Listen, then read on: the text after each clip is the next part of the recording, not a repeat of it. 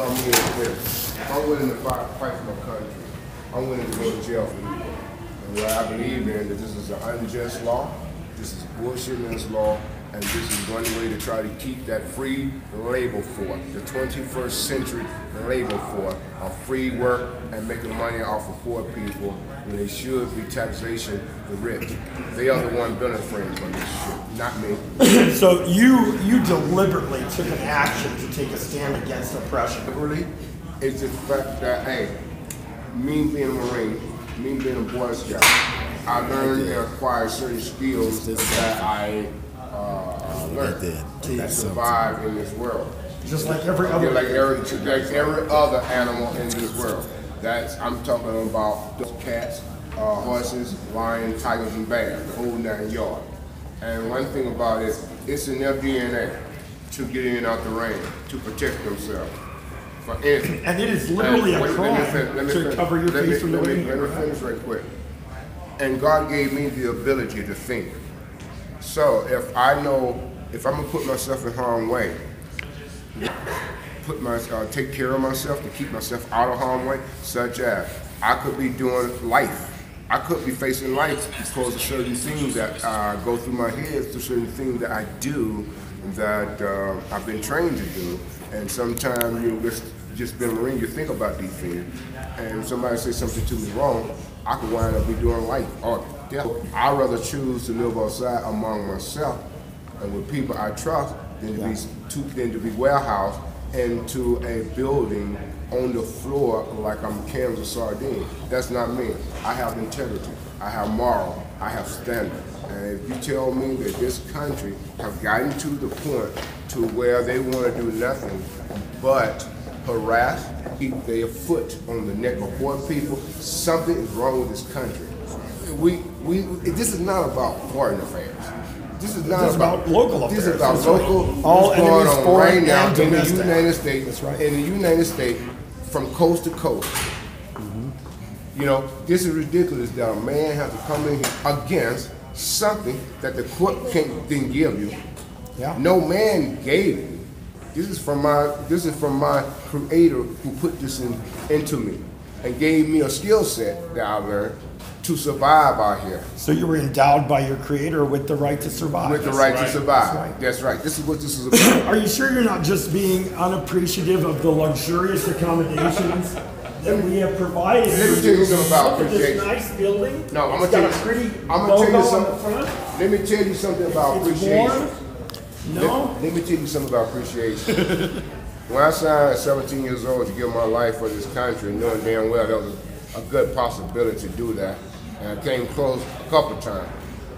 All right, do you think that anybody want to be over there in the detention center for a bullshit ass crime? This is not this is not crime against nobody. You know, this is not. Oh, oh, no, let me finish. This is not a crime against nobody. It's not. It, it, it is a victim of crime Yep.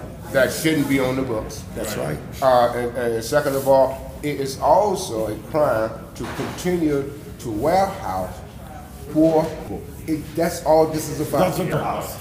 warehouse. yeah. Because if you're really a criminal, you go all the way out there. Yeah, you go, yeah, yeah, you go to prison. You go out, you go to uh, Fremont, uh, Cañon City, Sterling, Florence. uh, fr- uh, uh, what the other? Florence. uh, Florence. We just did Florence. an audit You of know, Florence the other this, day. This is crazy. That a man got to come here uh, and defend himself. This is a waste of taxpayer money. This is a courtroom waste- 3G, right? Yeah, 3G. This is a waste of taxpayer money. This is a waste of taxpayer time. Our money could be spent better than that. As a matter of fact, by, as a matter of fact, one good way of spending that money would be would be creating enough affordable, or uh, should I say, Attainable. Uh, no, no, not attainable. A low income that is, Right, 'cause go- all that housing is basic- affordable to that someone, is right? based on your paycheck, on your monthly income. Not all this make up. Judge, this is uh, Judge Pera, P- Yeah. Pierres, right? Yeah. Uh, uh, Isabel Pierres. Uh, she's a former. Uh, I don't know if you know anything about her history. It's good to know where your judges are Yes, coming it from. does make sense. She was a, a chief deputy district attorney for the second judicial district, which is the Denver District Attorney's Office. Under Mitch Morrissey and Beth McCann. She advised you of some of your risks today. Uh, actually, she asked the people to advise you. They for, for lack of completing community service hours, they are putting you at risk of how much jail time? Uh, two to four. Two to four years. Or I could get, re- I could get restated the, uh, the Two to four years. more, it's whatever they wanna do. It- And, and you to are literally taking a stand Me, I'm against this I'm taking a stand against it because this is not right, period. This is unjust, because. So for the me- crime of me ask you sleeping outside in the cold with a blanket, you face two to four years in jail unless you do thirty-two hours of slave labor. I did this shit when I was in Marine Corps. Yeah. When I went to the field, I slept in a tent. When I went to the field, I slept in a sleeping bag. Trained and pay millions of dollars to train us to do. That's right. And to keep myself out of harm's way, and to keep other people out of harm's way. But And that's the gist of it, right? Here you have this, this Denver right to survive. We've got the vote coming up in, in May, uh, right to survive. Uh, this guy Jesse Paris is working towards that That's same thing. Denver. Right. should not be a crime. I tell you like, House keys, not handcuffs, Yeah. right? I, man, So I'm, you I'm, I'm are gonna say taking one a more stand thing. not just for yourself, I'm- but for all those people. I'm, I'm gonna tell you one more thing, man. I'm gonna cut this short. Yeah. Um, in life, you have risk, you have reward. That's right. You ain't willing to from the line for what you believe in, then you ain't gonna, you, you're not gonna take a risk and you ain't gonna get no reward. You are going to continue to have their neck upon, their foot upon your neck. At 17 years old, I would take a reward, risk. Yeah. By signing my name to become a U.S. Marine. For Do- do three think years, for three years, for three years, I served my country honorably. And it just, I was just thinking about this last night before I actually went to sleep. And, and you know, most the funny thing about this shit is, is, is this. I can tell you, each time that I almost like to went to war or had to fight, I had to protect myself. And guess what?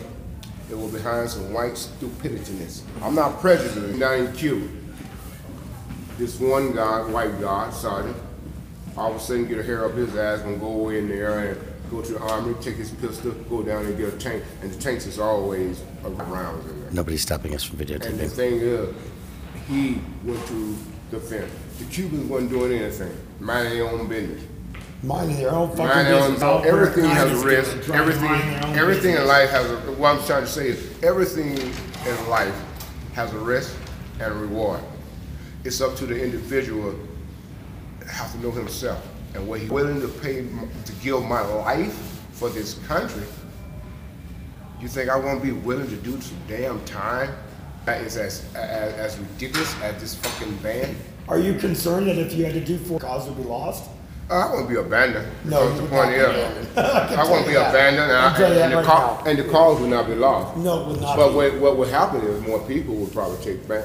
They'd martyr you. You know. Yeah, oh yeah, that would absolutely. So I, I, you know, So that's where I'm going to end this thought stream, folks, because my uh, memory space is getting low. That's Jerry Burton. Jerry is facing two to four years for failing to do community service because he was found guilty of the crime of sleeping. This is Brian Loma with Cut the Plastic. Hit that like and share button. Appreciate y'all.